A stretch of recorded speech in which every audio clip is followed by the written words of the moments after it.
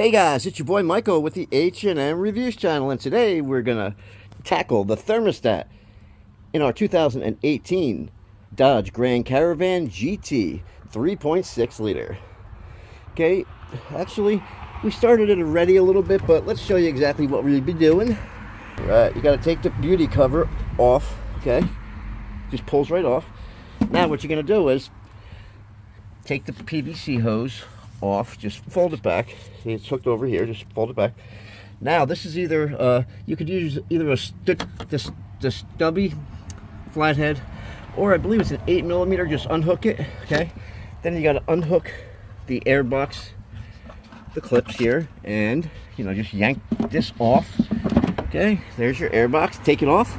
See, what we're doing now is we're creating extra room because the thermostat is actually under here. The thermostat's under here. Okay, so now this airbox container should pull right up. Okay, and you also, you need to, let me show you guys. The power steering reservoir has to come off. This is, a, what is this? I believe, uh, what is this? Uh, this is actually a half inch. It's a half inch.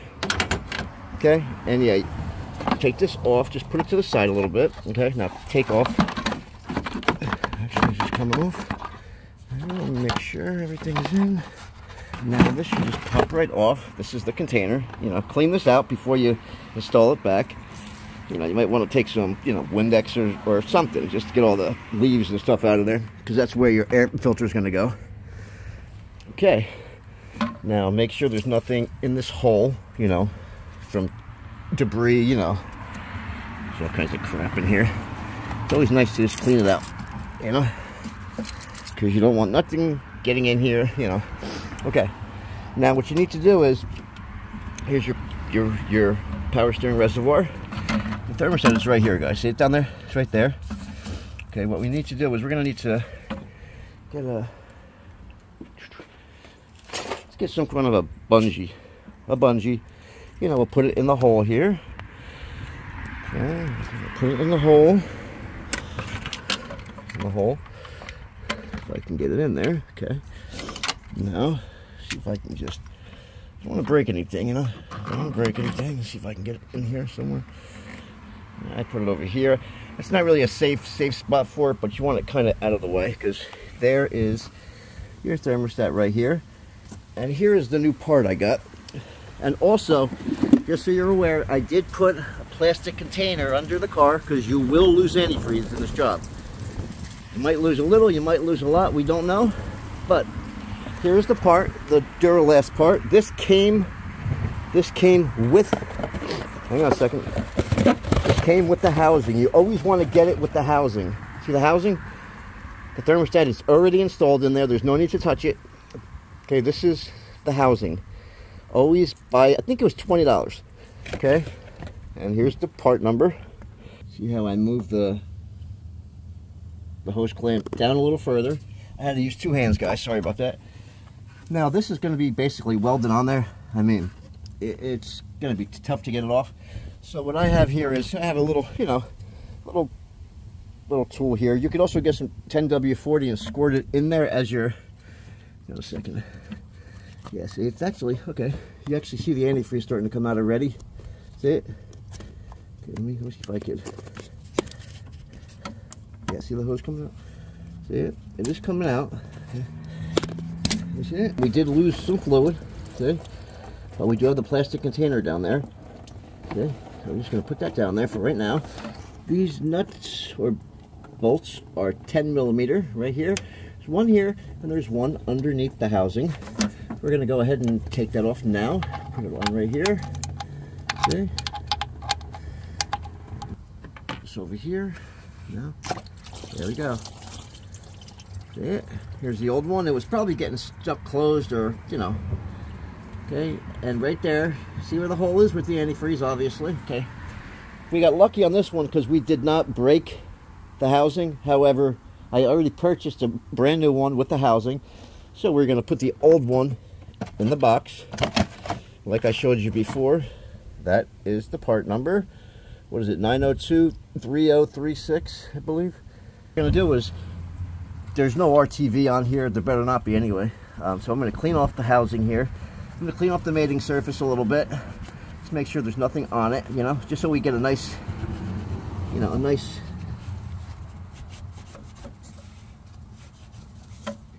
seal, you know, so there's no leaking. And I am going to spray with water because a lot of fluid got all over the belts. You do not want to start your car up and drive with with um, with your serpentine or drive belt soaking wet with antifreeze. Very, very dangerous. Okay, so now, here is our new one. We are going to install the new one here. It is already in. There's no need to take this out. It already has a weeping hole in it already, so there's no need to drill a hole in there. Okay. All right. And like I said, there's a catch can on the bottom there. Okay. All right. Let's put the new one on, on the clean surface we just cleaned. See it? All right. And yes, and just so you know, this car was spitting out code PO128. It is the thermostat rationality, you know, it's the um, it's the code for a thermostat rationality. I think I'm saying that correctly. Yeah. Okay. I think it was yeah no it's thermostat is 128 I believe the code 128 P 0128. So let's install this with two hands. I'll be right back guys.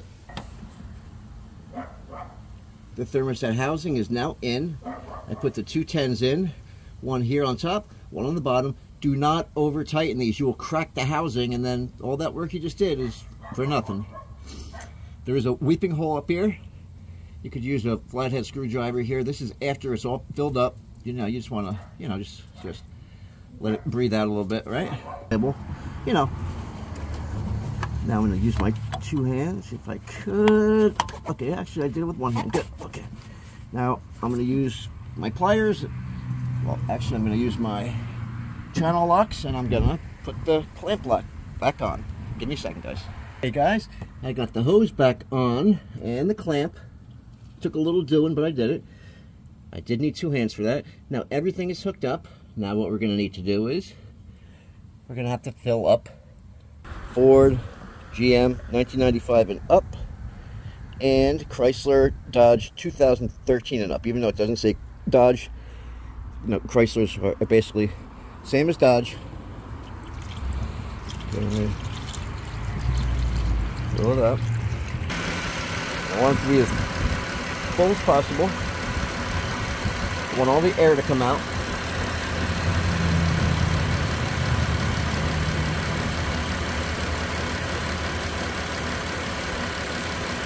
Because basically what you want to do is you want the, the thermostat to open up, like the new thermostat. So once it hits the operating temperature, the new thermostat should open up. Okay? I'm gonna step on the gas a little bit. Just a little.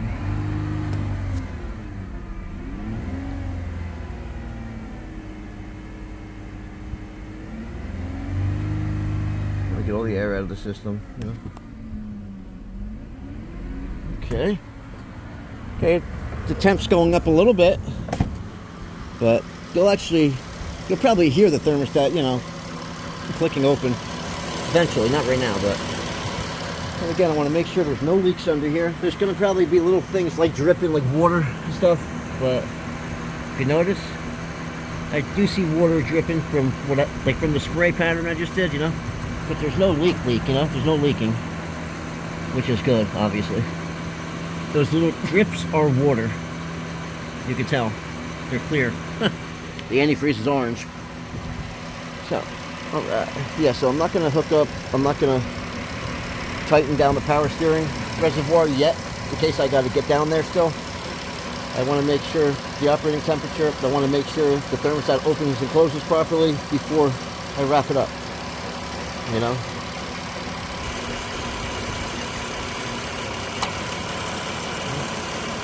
Alright. Alright. and they do say to put your heat all the way up or whatever, right? Is that how it is? You put your heat all the way up, whatever. Yeah, put the heat all the way up, the fan on high, I believe it is.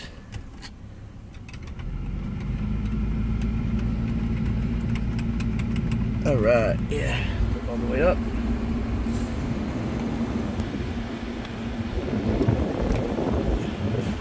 All right, push on the gas a little more.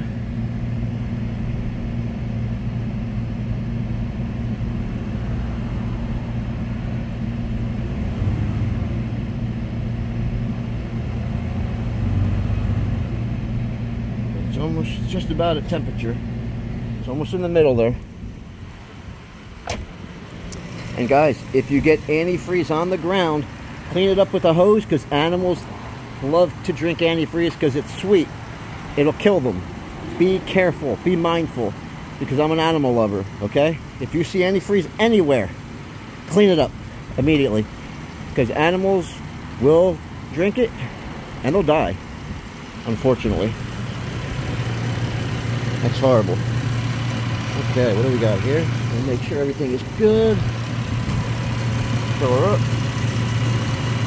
Gonna fill it up to the top again. So bubbles are out. We're gonna. Okay, got it. We're gonna put the cap back on.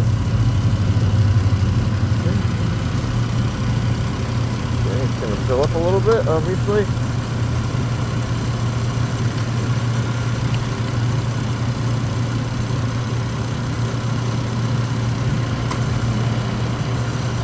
Done. Yeah. Clean it off. I want to clean off everything that just spilt.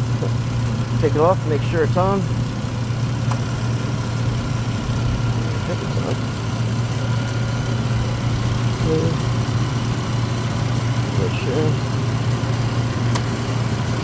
Right, guys, now we're going to hook up our power steering reservoir. Okay. Okay. This is plastic. Don't over tighten it. We're going to Okay, let's make sure everything is hooked up right. We had to put our little piece back on again, the little piece we snapped off before. No big deal, we got it. okay, make sure we have everything. Boom, okay, now, I think this is it right here. Is this it? Where'd it go? Here it is. Yeah, this is the half, the half an inch. Like I said,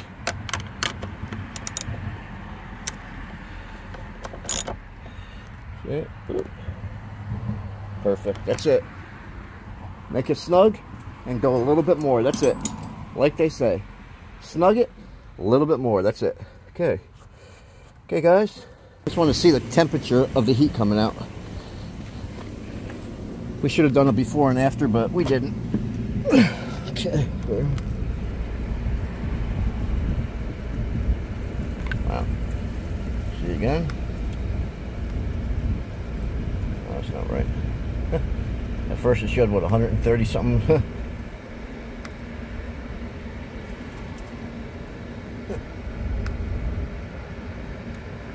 yeah, I don't know. What is that, C? Yeah, it's on C. Hang on.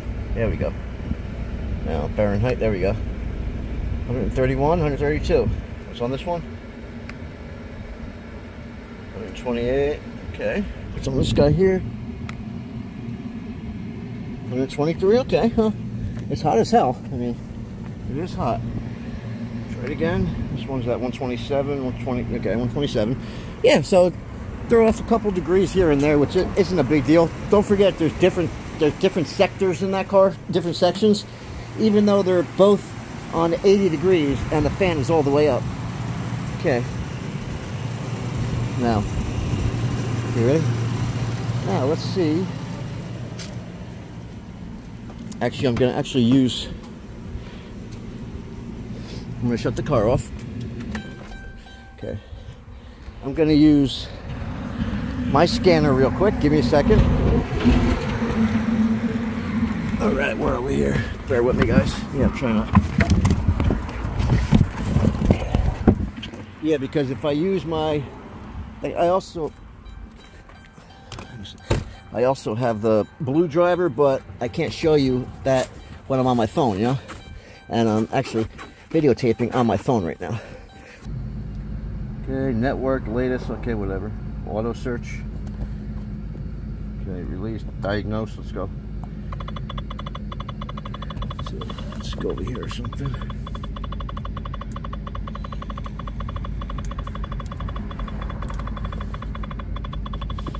No, no glare. No glares. No glares.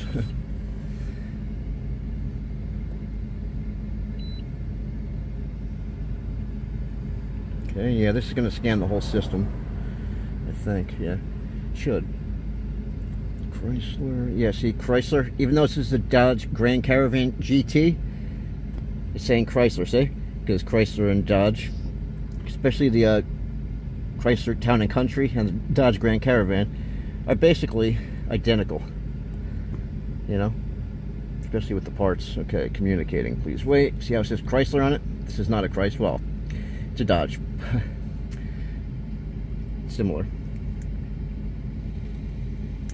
And I'm sure this car had a couple codes already because, like I said, it did have the. Um, this car also had the um, health report. It had the uh, the dreaded PO420 catalytic converter, but but ever since I cleared the codes the first time about 400 miles ago, it never came back on. Somebody said that the thermostat could have they triggered off the P420. Okay, PCM. Okay, ABS. There's a code. Okay. See.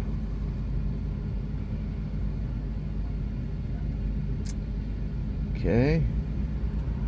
Actually, let me. I can't shut the car off, obviously.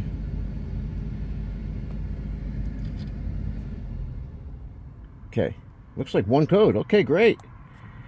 System voltage, circuit voltage below the threshold. So it's C212A16. Okay, let's clear DCs. Boom. Turn the engine off. Leave the key in the on position. It's on the on position. Okay, let's go. This might be a permanent code. No, it went off. Okay, good, good. All the codes are cleared.